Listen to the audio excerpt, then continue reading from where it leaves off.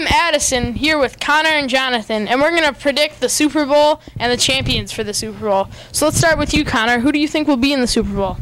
Two words Denver Broncos. You got Wes Welker, Demaryius Thomas, Eric Decker, Von Miller. Dumervil, who cares about him? He went to Baltimore. They're not going to do anything.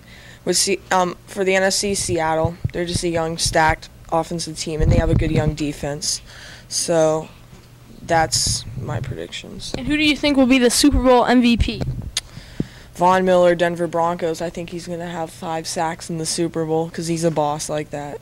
Okay, what about you, Jonathan? Um, I think the Seattle Seahawks. Um, I think picking up Percy Harvin was a great acquisition, and they had a great season last year. And I think uh, Russell Wilson is a great quarterback, and I think he'll be MVP. Okay.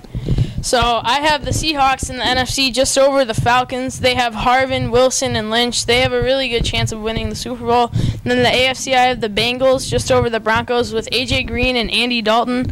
I think they can be a really big surprise and go to the Super Bowl. And I have the Seahawks winning the Super Bowl with Russell Wilson as my MVP.